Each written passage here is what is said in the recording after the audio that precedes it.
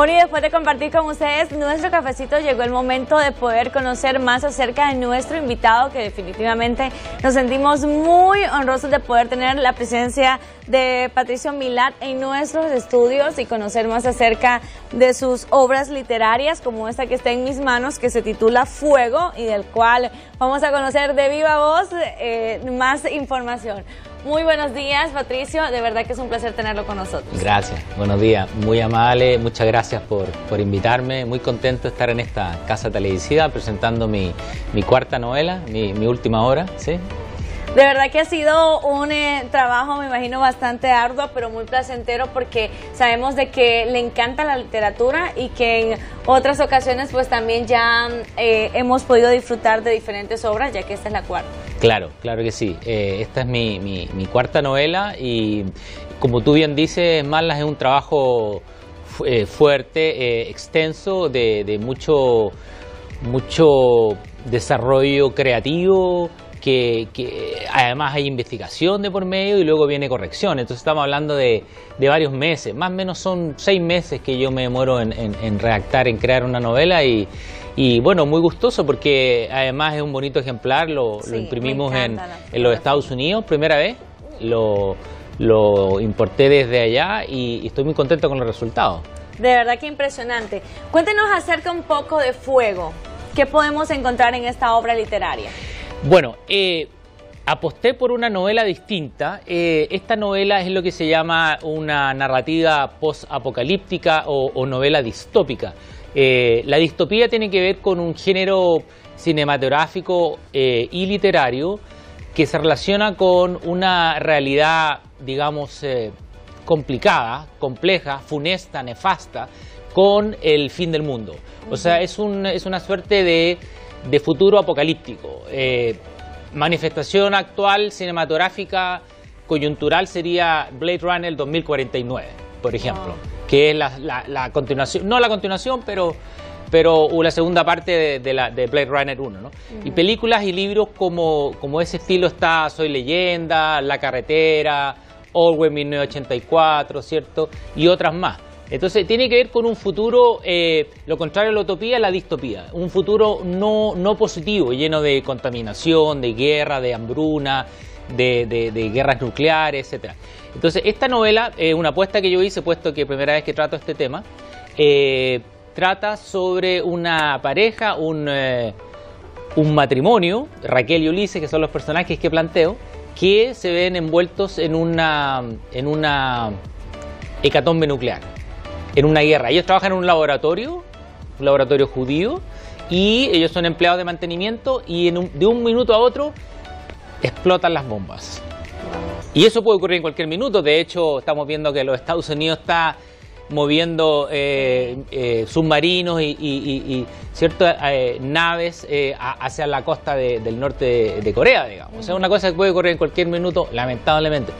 Entonces, esta gente se ve inmersa en ese peligro y se refugia en un bunker, en un búnker, en un refugio atómico, y, ahí van aconteciendo las situaciones respectivas. Cómo ellos se desenvuelven ante, ante el peligro, ¿cierto? Ante la contaminación nuclear que acontece afuera. Entonces, ese es el planteamiento que yo hago. En el fondo, la, la, discusión filosófica que yo planteo, no soy filósofo, simplemente soy escritor, es ¿qué harías tú en ese caso? En ese momento. Claro.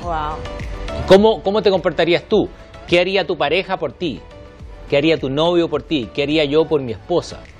¿Qué haría una persona por otra? ¿Hasta cuándo está dispuesto a ceder? ¿Hasta cuándo está dispuesto a dar la vida? ¿Cómo enfrentar al enemigo? ¿Cómo enfrentarse a los posibles amigos o aliados? Entonces ahí además hay un levantamiento militar porque convengamos que cuando ocurre un, suceso bélico los que toman el poder son los militares. Entonces hay un levantamiento militar, ¿cierto? Hay un mendigo que tú ves en la fotografía del libro, ¿cierto? Un viejito sin hogar. Em, en fin, hay, hay, algunos seres ahí un poquito extraños. Eh, entonces, el devenir de la pareja es eh, el desarrollo del libro.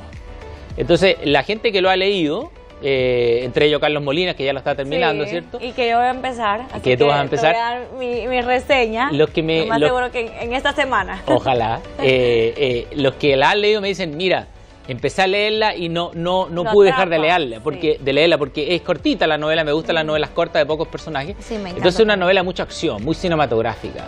Entonces uno la va leyendo, la va leyendo y se va planteando interrogantes. Y eso creo yo que ahí podría radicar un cierto mérito, ¿no?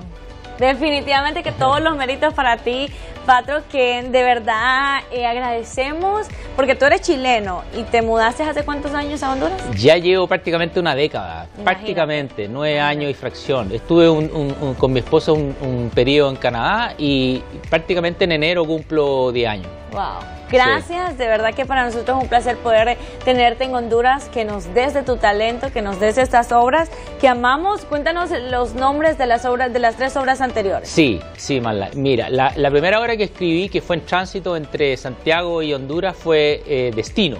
Destino. Destino, sí. Es una novela, como dice ahí la, reseña, es una novela eh, eh, psicológica sobre un, un ingeniero que que trabaja en un banco, en fin, que tiene una excepción amorosa, en fin, es una novela bien interesante. Sobre todo la gente que quiera conocer Santiago de Chile la va a conocer a través del libro. De verdad. sí. Eh, luego vino eh, Oniris, que es una novela que trata sobre una sexta religiosa y cómo influyen dos parejas. Ahí recién me empiezo a plantear el tema de ¿Qué harías tú en esos casos? En Oniris, es una, es una novela, digamos, una suerte de thriller, ¿sí? una novela de misterio, de acción y misterio. Luego viene Casino, que es como, como una novela bien, eh, bien cinematográfica, ¿no? que tiene, que tiene mucha acción, suspenso. Eh, pertenece al género negro. El género negro no es que sea racista, ¿no? el género negro es el género policial. El género negro, exactamente, criminal policial. Ese es el género negro. ¿no? Entonces es una novela para mí muy, muy interesante que tiene que ver con un investigador privado que se llama Frank Decker, que eh, busca la, a, una, a una hija de un millonario Bárbara Echeverría, que es raptada misteriosamente por un grupo terrorista. Entonces hay un casino de por medio, hay acción, policía, abogados, ¿cierto? Eh, gángster, matones, muy entretenida la novela. Novelas cortas, novelas de 150 páginas. Y luego viene Fuego, que es la que tenemos acá en, tus manos. Ok, hacemos entonces una, una recopilación Destino, Oniris Casino. y Fuego. Claro. Cuéntanos, Pato, para las personas que, les encanta la lectura y que definitivamente se quedaron atrapados con la descripción que tú has hecho de Fuego, ¿cómo podrían adquirir estas obras literarias? Bueno, hay tres eh, métodos. Primero, contactarme a través de, las redes sociales, que es eh, Facebook y Twitter. ¿Cómo eh, aparece en la Como Patricio Milad. Patricio Milad. Patricio Milad, Patricio.milad.tumala, tengo dos Facebook. me van a ubicar perfectamente. Segundo. Así como sale tu nombre, Milad sí, exactamente. al final. Sí, exactamente, con D al final. Eh, luego, a, través de librería Lícer en La Ceiba, hay un par de ejemplares de fuego y si se agotan ellos me pueden pedir más. Perfecto. Y la tercera vía es a través de Amazon. Ah, de verdad. Claro, mis tres novelas, de hecho esa la imprimí en Amazon y la traje de Estados ah. Unidos.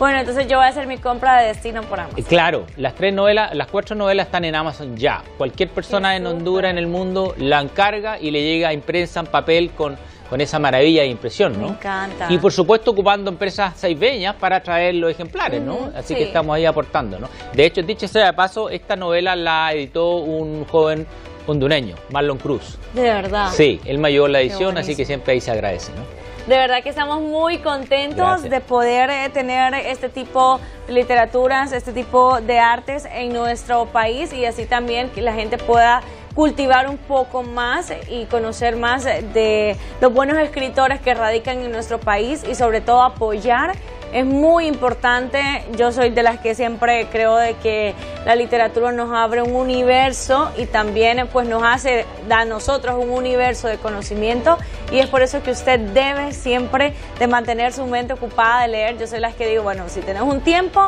ocupalo en leer y definitivamente vamos a tener un muy buen resultado. Definitivamente estamos muy contentos, tenemos un ejemplar tuyo, pero lo vamos a regalar mejor a través de las redes sociales para crear una dinámica, para que te sigan también en tus redes sociales y así eh, que las personas puedan participar. Así que les invitamos a que los que quieran tener eh, este mm, ejemplar y puedan eh, leerlo, puedan seguirnos a través de nuestras redes sociales. Nos encuentran como Primera Edición Extra en Facebook y también en Instagram y ahí van a conocer todas las bases del concurso.